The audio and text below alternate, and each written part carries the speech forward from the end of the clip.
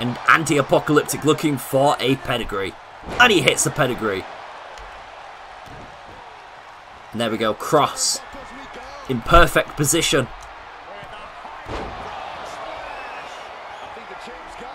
And here we go, Andy Apocalyptic now.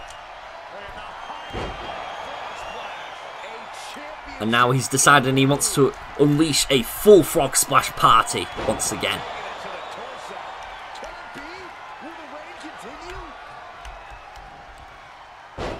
And Karrion Kross gets spiked with the knee. Oof! But Andy Apocalyptic, seemingly, not aiming to finish it yet.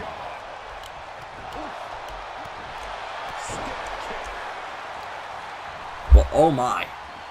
But Kross gets the knees up as it could be an opening. Oh! A destructive knee.